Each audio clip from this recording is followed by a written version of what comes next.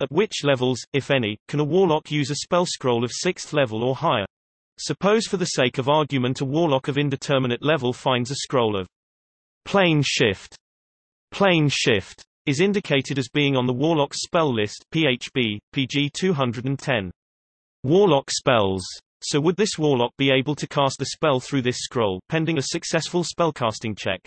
Furthermore, does this answer depend on the warlock's level, i.e. would a level 13 warlock with the 7th level Mystic Arcanum be able to cast this spell without a spellcasting check, or would they still require the spellcasting check?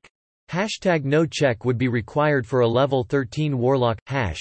I think the critical wording for spell scroll is this, if the spell is on your class's spell list but of a higher level than you can normally cast.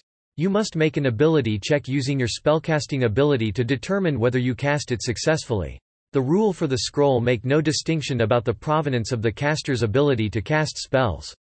That is, the caster's spell slots are not the limitation here. It just happens to be that this will usually be the limiting factor.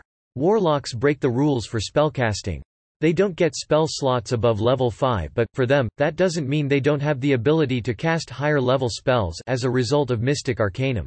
Since the rule for spell scrolls and casting checks only cares if the caster has the ability to cast spells of the scroll's level, a sufficiently high-level warlock can use spell scrolls that appear on its class list without making an ability check.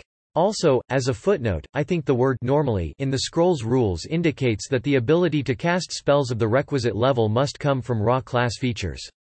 If a character happens to possess another magical item that grants them the ability to cast level 7 spells on a regular basis, I would argue that this would not satisfy the normally requirement.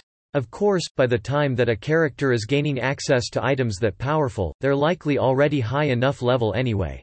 Lore-wise, this makes sense, too. Warlocks have invocations and pacts that center around reading and using eldritch texts and magically understanding languages that they otherwise wouldn't know. Allowing them to read scrolls as a result of their mystic arcanum ability is 100% on brand for them.